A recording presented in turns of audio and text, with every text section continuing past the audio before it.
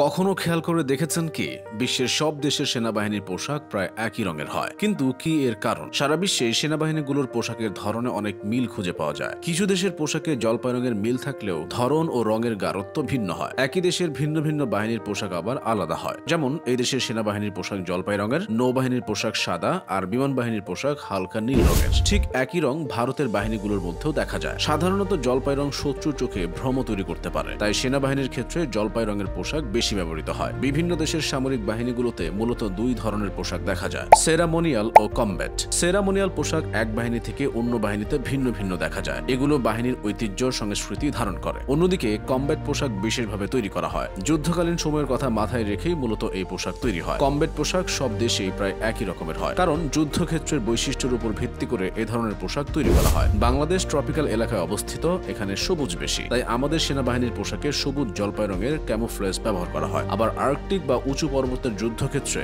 বরফের প্রাধান্য বেশি থাকায় ওখানকার সেনাবাহিনীগুলো সাদা রঙের কমব্যাট পোশাক পরে থাকে। ক্যামোফ্লেজ নকশা শত্রুর চোখে ফাঁকি দিতেও ব্যবহৃত হয়। একইভাবে মরুভূমি, সাগর এবং আকাশের যুদ্ধেও অনুরূপ পোশাক ব্যবহৃত হয়।